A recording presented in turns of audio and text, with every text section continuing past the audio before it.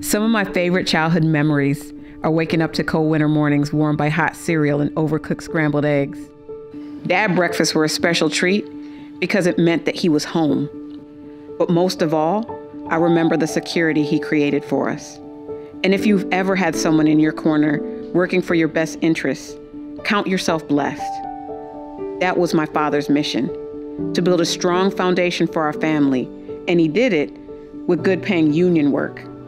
The examples he instilled from being a loving father and a hardworking tradesman has had a lifelong impact on who I am today, and I am forever grateful.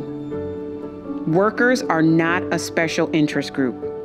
They are the everyday people who have organized throughout history to improve labor conditions and worker power. They are the ones who fought and even died to give us safer job sites in the eight hour workday.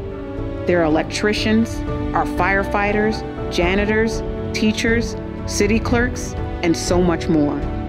They're the ones holding up our communities. They are our community. This Labor Day, remember them because they fought for you. So, to all my rank and file family, my union supporters, and to everyone on the front lines working way harder than what they currently earn, happy Labor Day. I see you, I got you, and I truly believe that we will win. And P.S. Happy retirement, Daddy. You've definitely earned it.